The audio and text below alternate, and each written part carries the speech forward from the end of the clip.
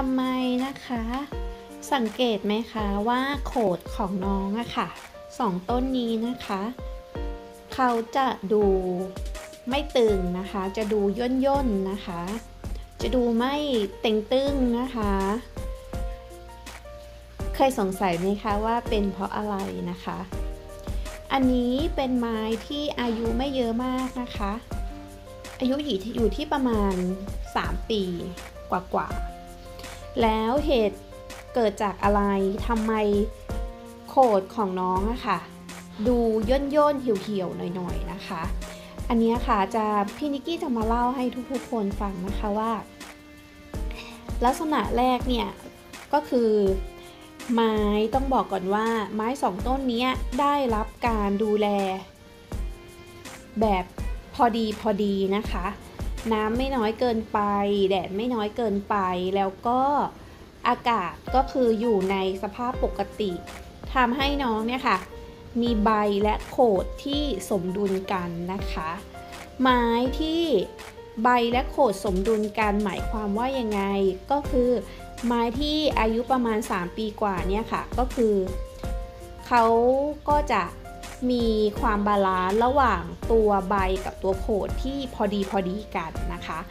ถ้าเป็นไม้ที่อดเยอะๆเนี่ยค่ะ อายุ 3 ปีเนี่ยโขดจะใหญ่กว่า ตรงใบนะคะ ใบจะแบบดูเล็กมาก แล้วโขดจะดูใหญ่ นั่นเป็นเพราะว่าอ่าเราเลี้ยงเขาอด อดไปหมายถึงอดน้ำอดสารอาหารนะคะ แล้วก็มีหรือมีอากาศที่ค่อนข้างแห้งไป เขาก็จะสะสม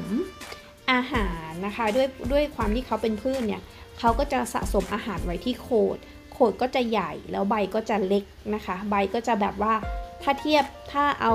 ตัวมาเทียบเนี่ยก็คือเหมือนกับว่า ลักษณะเหมือนเด็กโขดโตนะแต่หัวจะเล็กๆนะคะ แต่ก็ถ้าเลี้ยงแบบ พอดีสมดุลด้วยอายุเท่านี้โขดกับใบเขาก็จะอยู่ในขนาดที่ไล่ๆกันแบบนี้ ทีนี้เราก็มาดูว่า แล้วทำไมสองต้นนี้โขดถึงเหี่ยวนะคะ ต้องย้อนกลับไปเมื่อ 2 เดือนครึ่งที่แล้วค่ะว่า ไม้สองต้นนี้ก็เป็นไม้ที่ปกตินะคะ ที่มีโขดและใบนะคะ สมดุลกัน แล้วก็โขดก็จะเต่งตึง ใบก็จะเต่งตึง แต่ตอนนี้ใบก็จะสังเกตได้ว่ามีความเหี่ยว โขดก็จะสังเกตได้ว่ามีความเหี่ยว นั่นเป็นเพราะว่าพี่นิกกี้ตัดรากเขาค่ะ แล้วก็ตัดแบบว่ากุด ก็คือตัดเยอะแล้วก็ไม่เหลือรากฝอยเลย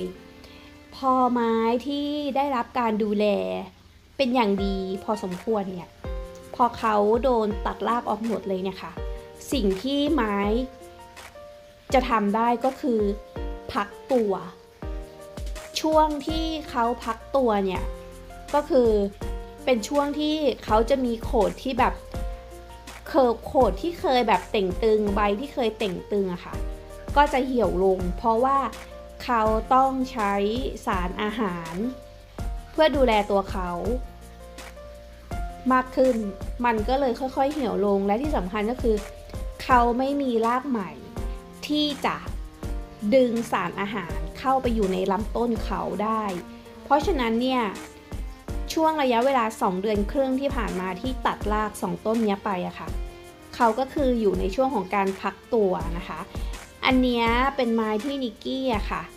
ขายไปแล้วนะคะ แล้วก็ดึงต้นออกมาเพื่อที่จะส่งให้ลูกค้าก็เลยมีรูปนี้อยู่นะคะ ก็เลยเออเห็นรูปนี้มีไอเดีย ที่แบบว่ามีลักษณะโขดที่ย่นก็เลย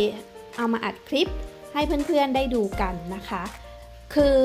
ต้องบอกก่อนค่ะว่า ตอนนี้ลากปลายลากปลายตัวปลายโขดนะคะ ที่เราตัดไปเนี่ยเขาเริ่มมีรากฝอยขึ้นมาแล้วเห็นไหมคะทุกคน พอเริ่มมีรากฝอยเนี่ยเขาก็จะค่อยๆดึงน้ำดึงสารอาหาร คือก็คือเราตัดรากเปลี่ยนดินแล้วปลูกลงใหม่เนาะก็จะค่อยๆกลับไปที่ตัวเขาได้นะคะ แล้วทีเนี้ยโขดเขาก็จะกลับมาเต่งตึงเหมือนเดิม ใบเขาก็จะกลับมาเต่งตึงเหมือนเดิม เช่นกันนะคะ แต่เพียงต้องใช้ระยะเวลานะคะ ทีนี้นะคะ เราก็ต้องรู้ระยะเวลาแล้วค่ะว่า ถ้าในกรณีที่ไม้ที่เขามีรากอยู่เนี่ย ถ้าเราตัดรากเขาเยอะเกินไป การพักตัวก็จะยาวนานหน่อยนะคะ คือถ้าตัดลึกกว่านี้ตัดเข้าไปในโขดลึกกว่านี้ การพักตัวของไม้ก็จะเยอะ เพราะว่ากว่ารากจะงอกนะคะออกรากฝอยจะงอกออกมา แล้วก็กว่าที่เขาเรียกว่าระยะฟักตัวของพักตัวของไม้เนี่ย มันก็จะยาวออกยาวนานออกไปอีกเช่นกันนะคะ เพราะฉะนั้นเนี่ยสำหรับมือใหม่ที่ได้ได้ไม้ไปนะคะ แล้วก็เป็นไม้ที่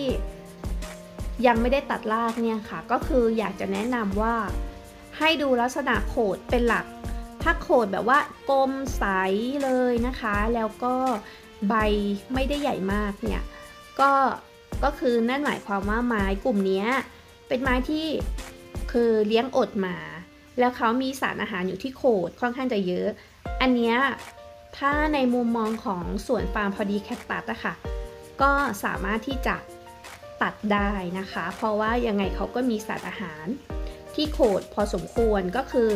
ตัดแล้วก็เล็มรากฝอยออกนะคะ อาจจะมีตัดโขดได้บ้าง เป็นตรงช่วงปลายนะคะ เนื่องจากว่าโขดเขาใหญ่ขนาดนี้อาจจะเหมือนกับ อดมาแล้วก็ไม่ได้รับการดูแล แต่เขามีอาหารเพียงพอของเขา แต่ถ้าในกรณีที่ไปเจอไม้อีกประเภทหนึ่งก็คือว่ามาที่เลี้ยงแบบความชื้นสูงด้วย แล้วก็เหมือนโตเร็ว แล้วก็ลำต้นยืดๆนิดนึงโขดเล็กๆ หรือหรือโขดแทบไม่มีอันเนี้ยก็คือจะเป็นไม้ที่เหมือนกับ เขาไม่จำเป็นต้องสะสมอาหารคือ เหมือนกับว่าเขาได้สารอาหารเพียงพอในสภาพแวดล้อมที่เขาอยู่ โขดเขาก็จะเล็ก อันนี้ไม่รวมไม้ที่อายุเยอะๆ แล้วเหมือนกับโขดมันค่อยๆยุบหายไปนะคะ กลุ่มอาริโอ อันนี้เราพูดกันในมุมของไม้ที่ยังไม่โตมากนะคะ 2 ปี 3 ปี 4 ปีประมาณนี้ ก็คือกลุ่มพวกนี้ค่ะ ถ้าเราเห็นว่าไม้ที่อายุไม่เยอะแล้วโขดเล็กๆเนี่ย แนะนำว่าอยากให้ตัดรากเล็มๆนิดๆก็พอไม่ต้องเยอะ เพราะว่าเวลาเราได้ไม้ไป ไม้ก็จะต้องเปลี่ยนที่อยู่เปลี่ยนอะไรใหม่เหมือนกับเปลี่ยนสภาพแวดล้อมของเขาใหม่อะค่ะ มันจะได้ปรับตัวได้แล้วก็ใช้เวลาพักตัวน้อยนะคะ แล้วทีเนี้ยพอตัดรอบสองค่อยๆ ขยับความลึกเข้ามาก็ได้นะคะ ไม้จะได้อยู่กับเรา ไปตลอดแล้วก็แข็งแรงนะคะ ก็อยากจะฝากไว้นะคะสำหรับคลิปนี้ ขอบคุณค่ะ สวัสดีค่ะ